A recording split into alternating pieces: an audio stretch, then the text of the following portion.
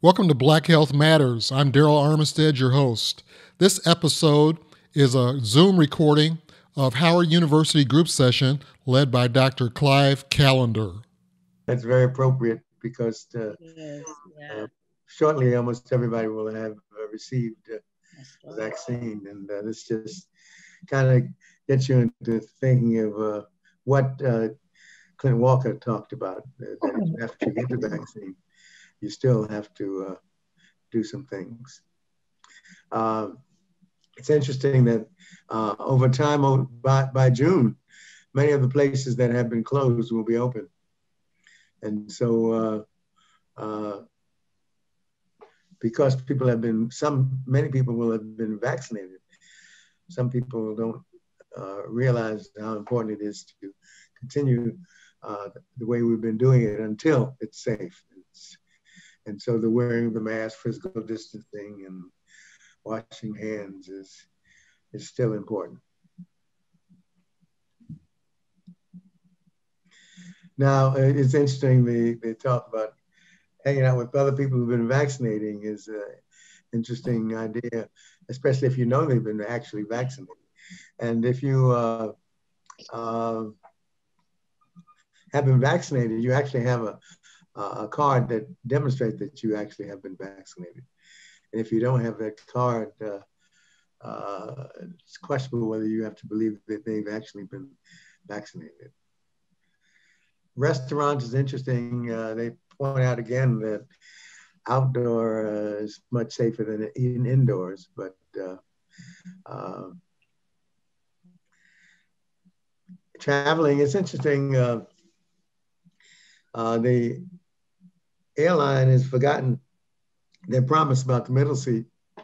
And so if you fly, uh, the plane is going to be packed. Uh, but the, uh, the ventilation is much better than it ever was before. So it's a little safer. Gyms are still problematic.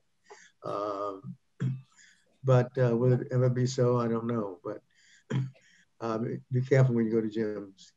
Go to the dentist. Again, uh, ventilation is the key the dentists have always worn uh, protective gear, so they will continue to. Speakers. Uh, Speakers. Any comments? I didn't, I didn't, did I miss anybody? Oh. Uh, Dr. Callender, one hint um, or tip I got from a, a friend who works in a hospital, it says that take a picture of your vaccination card, the proof of vaccination, in your phone. Keep it in your phone. Um, because the paper is hard, you know, can be lost easily. But that's a good idea. It's good, good, good tip. Yeah. Good tip. Good tip. Someone just sent me something a few minutes ago saying once you receive the final card, do not laminate it. It doesn't work at airports or someplace else. Mm-hmm. So keep that in mind too. Okay. I guess put it in a plastic sleeve. Yeah. Yeah, I put it in my passport. But anyway. Yeah. Uh, now, it's interesting 30% of COVID survivors may have PTSD. I think it's, uh, it's, it's, likely that they have PTSD. Yeah. Uh, Post traumatic stress disorder, uh, being on those ventilators and all those things, they, they're going to have PTSD. Uh, the, the, the, uh, the, the, the mental fallout. There was also an article, a couple of articles about um, uh, dementia or ventilator related dementia. Yeah, yeah, yeah. And can you imagine being on a ventilator for weeks and months and uh, uh, then then suddenly getting off the ventilator and can you imagine all the uh, nightmares you'd have? Yeah. Yeah. Post-traumatic stress disorder is a uh, widely underappreciated problem of uh, and it has so many different causes. Yeah. COVID is just one of them. And of course, we're seeing other mental health side effects of COVID with the students who stay at home and don't get to school, uh, committing suicide and other things. So it affects uh, African Americans so disproportionately that it's something that we need more help with, especially mental health help with. This is interesting. Why has, has the flu appeared to disappear? Uh, and this is uh, usually the peak of this flu season, but not this year. Wonder why? And, um, and I think it's uh, think it's not surprising. I think it's because we're we're being more careful. We're washing yeah. hands and wearing the mask. Yes, right. Yes, that's right. And uh, so it means we, so it means we know what to do in the future if when we get past this. Uh, whether we do it or not is another story. But uh, yeah,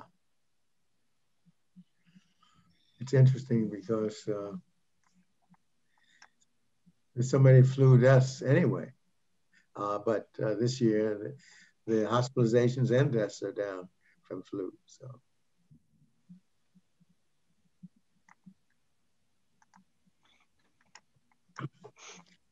And then uh, uh, this is an interesting promise so that uh, by the end of May, everybody will have a vaccine. Merck is going to help uh, Johnson and Johnson and the one-shot vaccine. Uh, there, there's there's still a, uh, there's an article that talks about uh, whether or not when you look at the 95% of uh, uh, the two vaccines, uh, Pfizer and Moderna, and you look at the 70% of Johnson & Johnson, is, is, is that going to be a source of concern about whether you got the right vaccine? uh, well, uh, that, that remains to be seen, but uh, one thing is clear, you need to be vaccinated. And, and, and it's also clear that uh, uh, the initial uh, hesitation on the part of the black community to be vaccinated has kind of been lost to follow up because there's so many people who are trying to get vaccinated and having uh, stress because they haven't been vaccinated. So, uh, and you know, I I I, I uh, published a newsletter uh, for my church about why African Americans need to be vaccinated. And one of the things that you have to remember is that everybody's getting the vaccine. Uh, people of color, people not of color, so that uh, whatever they're doing to us, they're doing to everybody else. So so having that kind of fear is uh, uh, inappropriate. Uh, but people will, still have that. Any comment about that? Dr. Callender, I have a question. is is it the um the COVID vaccination? Is that the reason why the flu has been less of a problem? Yeah. And is it if that's the case, will this is the COVID a one time or will it be something that will be taken in the, the later years to help with the flu? Well, you asked several questions, so I'll, I'll answer them one at a time. in terms of the first question, in terms of uh, do I think the COVID vaccination stopped the flu? Answer would be no. I believe okay. the behavior that we have been using, social distancing, masking, and uh, washing our hands are the reason uh, that's the first answer to the, that question. The second question is we don't know, uh, for example, after the Spanish flu, you notice uh, we've had to take flu shots every year. Mm-hmm. And it is possible that we may have to take COVID shots every year. So it remains to be seen. We don't know the answer to that question yet, but we will know shortly because we, we're looking at, at the antibody titers of the people who got the vaccine in uh, September. And by next September, we'll know whether the antibody titers remain high. If they don't, then that means we will all need to be vaccinated uh, periodically. So the answer isn't out yet, but it, it, it is possible that just like the flu vaccine, we may need to take COVID vaccines annually as well. But we don't know the answer to that yet. Okay, does that answer those two questions that you asked? Yes, thank you. Okay, all right. Uh, those who are gym, gym people uh, will uh, find that uh, there's still a concern about going to gyms. Actually, there's always been a concern about going to gyms if they aren't clean. So that uh, if they use the same kind of uh, cleanliness that they use for COVID, that would protect uh, a lot of people. I a number of people who got infections while at the gym, and uh, it's uh, something that uh, people who, who are exercising and who go to gyms think is very important.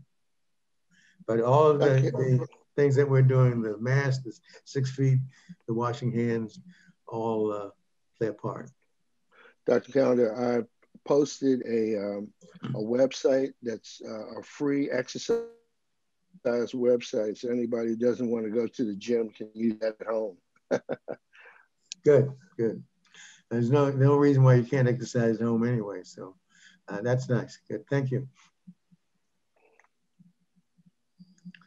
Um, now this is this is interesting uh, article uh, about uh, uh, which uh, kind of plays into what we talked about today relative to the administration of the vaccine and how a number of blacks who are unable to get out, disabled, and and other factors that were discussed today uh, result in uh, uh, them not getting the vaccine. And uh, this is uh, one of the uh, critical issues that really hasn't been uh, completely figured out yet in terms of how do you get those people who have not been vaccinated vaccinated who want to be vaccinated. And uh, we've already heard about the many factors that are involved. And I think it's it requires us to be very sensitive and empathetic as, as, as everyone has been. Uh, and I think that there's no question that the churches being involved plays a major role in uh, addressing and, and answering many of the questions about why many of the Black, Brown, and poor communities have, have not been vaccinated like the uh, upward mobile and uh, rich communities have. But it remains a fact. Uh, but the more churches get involved, the better off we are.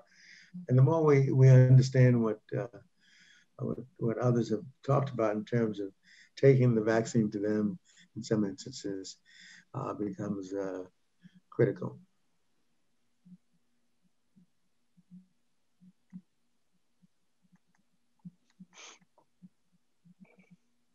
Uh, J and J, I guess uh, everybody knows now that this is the one shot uh, uh, vaccine. Uh, and uh, this will help ensure that everybody in America that wants to be vaccinated will be vaccinated. And that now becomes more likely, although it may not occur until uh, late spring or early summer. But uh, I think in this country, we will get to a point where everyone who wants to be vaccinated uh, will be vaccinated. Unfortunately, that's not the case in other countries outside the United States. Uh, and so uh, places in Africa and other places that aren't rich uh, don't have the vaccine. Even, uh, uh, I guess it's parts of Korea don't have the vaccine. So it's not equitable across the globe. Uh, Is. And that's the concern. Yeah.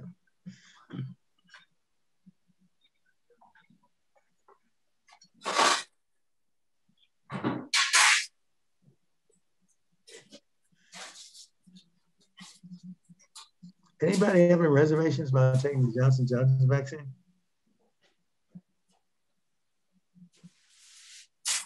Or anybody have any concerns that? Uh...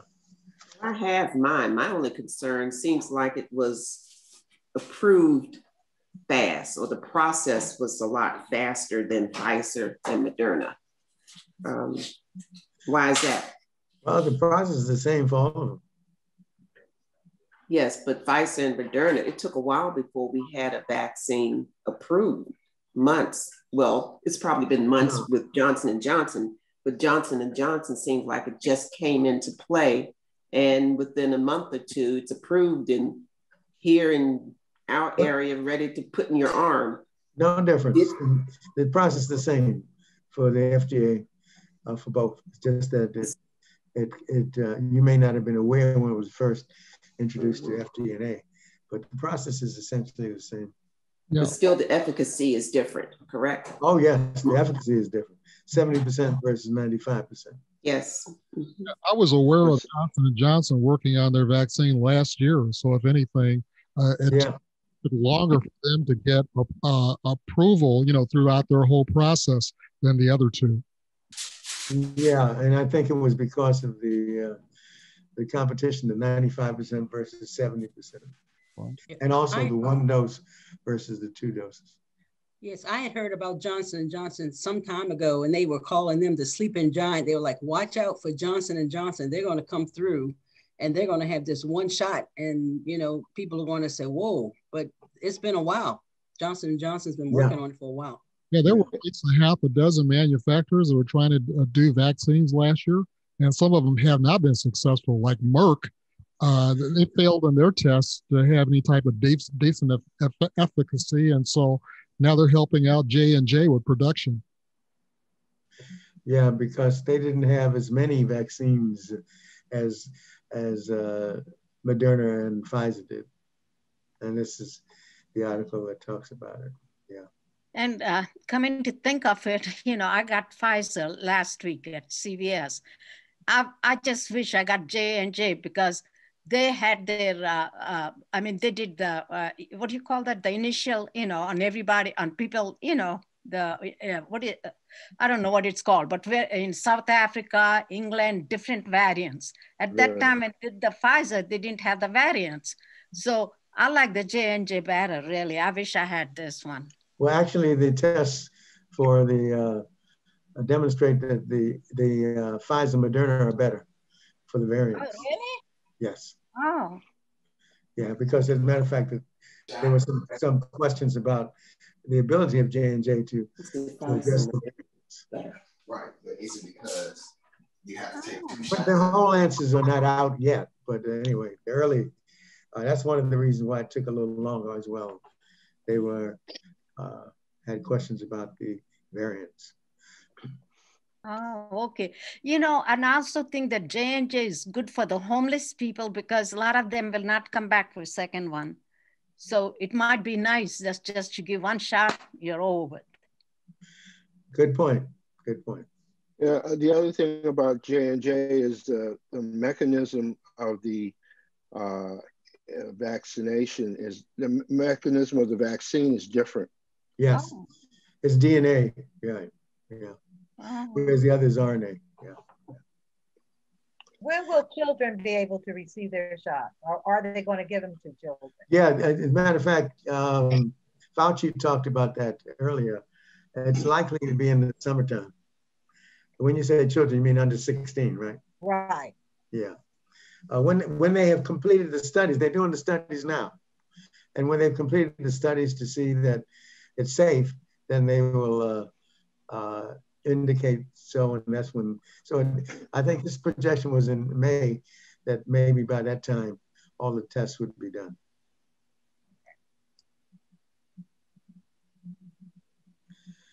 Uh, you know, this is something that uh, people who had COVID and have that fatigue and muscle pain. Uh, they call it long COVID, uh, but uh, it's uh, problematic if you have it, chronic fatigue syndrome and uh, brain fog, of course, that's a nice term for uh, uh, the fact that your brain isn't working right. Uh, but that plus the fatigue and the muscle pain are lingering symptoms.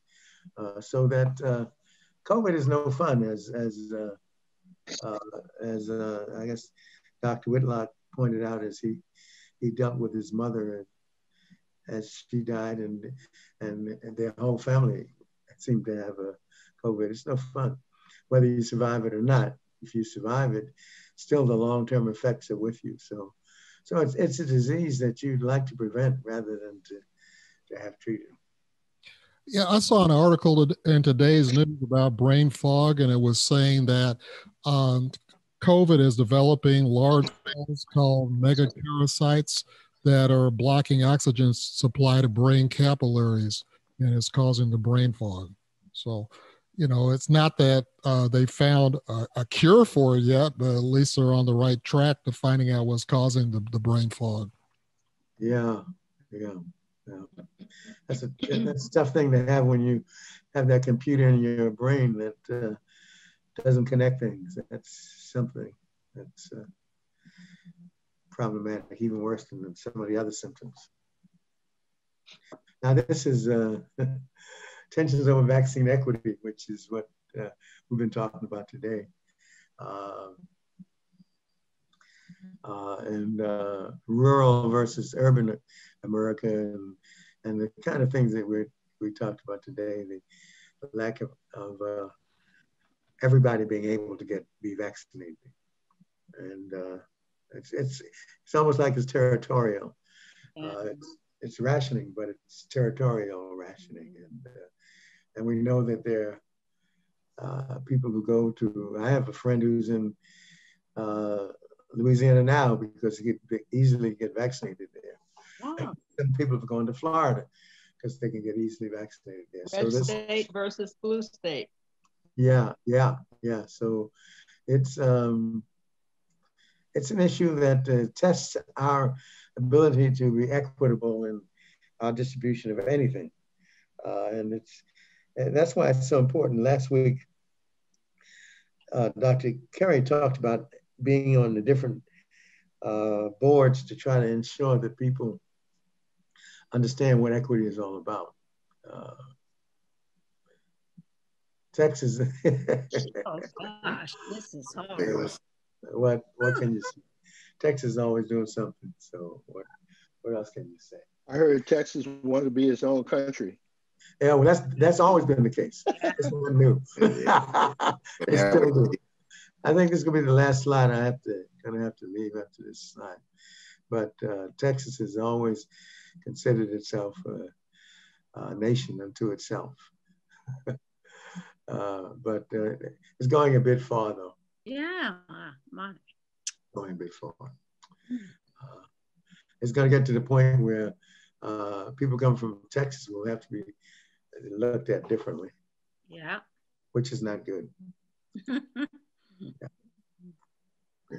Okay. Um, thank you very much for.